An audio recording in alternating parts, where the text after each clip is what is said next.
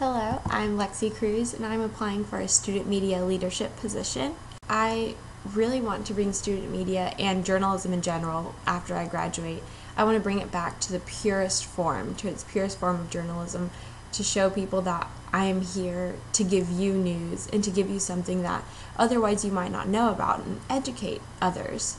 I would take these handy dandy tips from my AP style book and also from our advisors that we've had the past year or so and really give students a chance to learn instead of giving them comments or criticism. I really want them to engage and want to ask us questions as student leaders.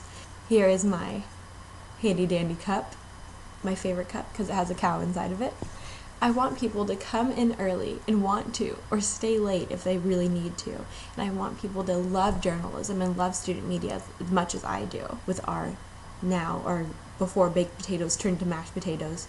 We really need this communication so we don't have any lumps because nobody likes lumps in mashed potatoes.